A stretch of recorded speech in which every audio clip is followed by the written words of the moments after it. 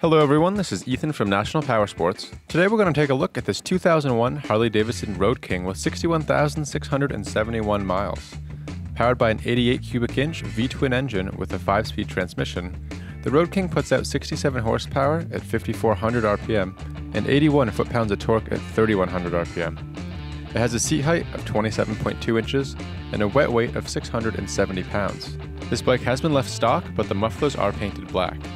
Rather than describing any cosmetic flaws, which can be very subjective, we have taken this high resolution video so that you can get an exact representation of what this vehicle looks like in real life. Our goal is to provide you with the ability to virtually walk around and inspect it as if you are here in person. Please take the time to watch the entire video. If you have any questions about this vehicle, our sales team can be reached at the number provided at the end of the video. They'll be happy to assist you in any way they can. This bike has been fully serviced and detailed and is being sold as is with no warranty. We've also purchased a CycleCheck's vehicle history report. To view a copy of this report, click on the link on the right side of the screen.